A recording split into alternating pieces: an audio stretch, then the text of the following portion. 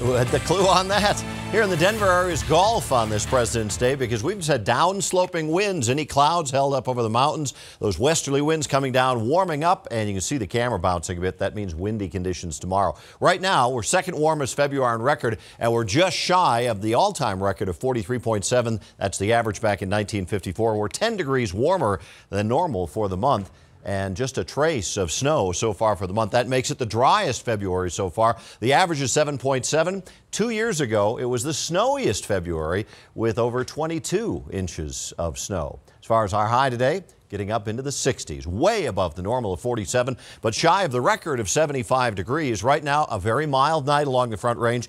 44 degrees downtown, 46 at the airport. Winds are still a bit gusty out of the south southwest at 20 miles per hour, and the air is quite dry. Dew point at 13 degrees. Here's the story. Strong winds aloft, bringing more moisture into California. That westerly flow, by the time it gets down to Denver, it's pretty much out of any water, and we just get the gusty winds and mild temperatures. At the surface, this front brought the severe weather to Texas last night, brought our snow to the mountains last night, but now here comes the next storm. In advance of it, a warm front moves through the state tonight. Maybe a little touch of snow in the mountains, on the plains, just mild overnight low temperatures in the 20s and 30s and even low to mid 40s along the front range with occasionally gusty winds from the southwest overnight. Tomorrow those winds start to crank up as the day goes on. A little bit of snow in the mountains, but not much. Strong westerly flow across the state. That means downsloping winds, dry air, and record high temperatures over much of eastern Colorado into the 70s.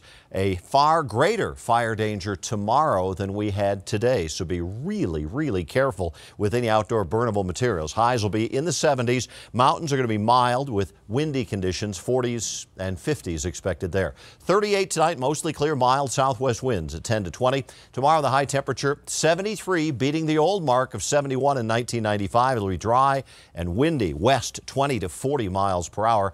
Good news that western storm gets closer on Wednesday with some snow likely in the mountains. Clouds increase, maybe a shower late on the plains. Colder with rain changing to snow on Thursday. Colder Friday with some flurries. Now look at this. Tomorrow's the alert day because of the high fire danger. I'm going to put the bright spot on Thursday because we desperately need the moisture and some cooler temperatures to ease this fire danger.